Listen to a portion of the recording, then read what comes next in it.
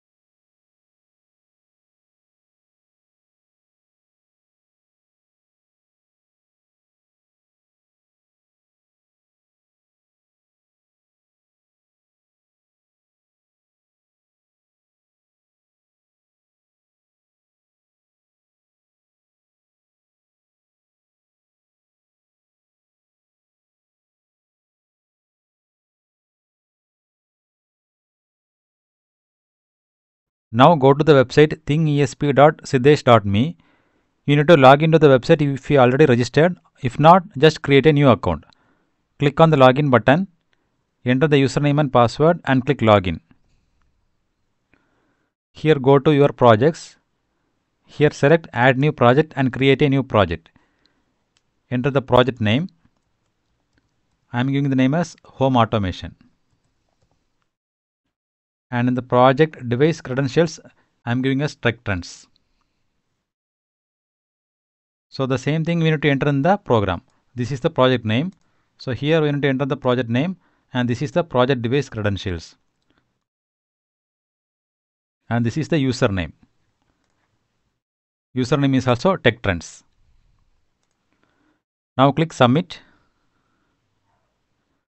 Now the project is created successfully. Click OK. Note this endpoint URL. Now go to twilio.com website. Here click login. Here enter the email address. Click continue. And here we need to enter the password. Click the continue button.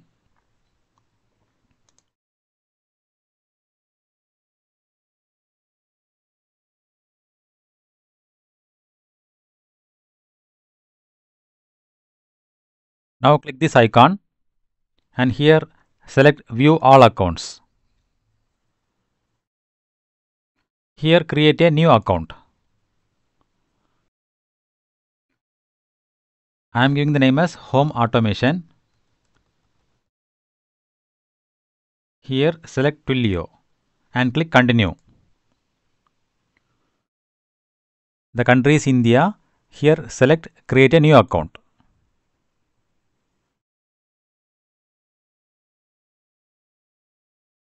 So here select the country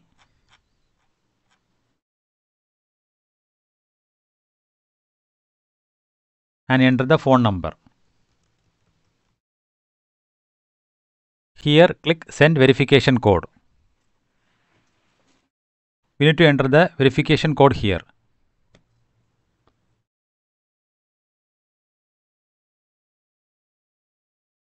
And click submit button.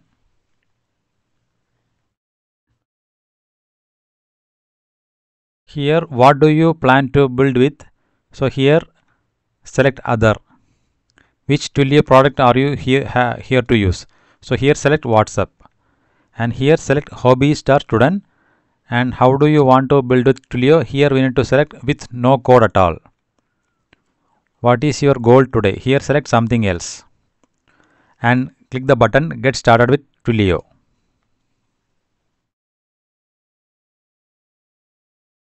Now here go to this messaging menu and under try it out select send a WhatsApp message. Here acknowledge this one click confirm button so that the sandbox will be activated. Now here go to sandbox settings. So in this place we need to copy this endpoint URL from thingesp.this.me and paste here. Then click on the save button. Now go to the sandbox menu. So here we got a contact number and also a code. You need to save this contact number in your mobile and open that contact in WhatsApp and type this code and send this uh, send this code. After that we can check the output. Now we need to upload the program. Connect your Node MCU board to your laptop. Go to this drop down, select the port and select the board as Node MCU 1.0. Click OK. Now click this upload button and upload the program. Now the program is successfully uploaded to the Node MCU board. Now we can check the output through the WhatsApp bot. I have saved the number which I got from the Twilio website here. I gave the contact name as WhatsApp bot. So now we need to type the code which we got from Twilio.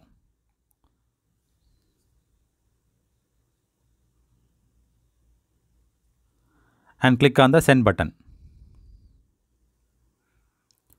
Now the bot is ready. Now we can check the output.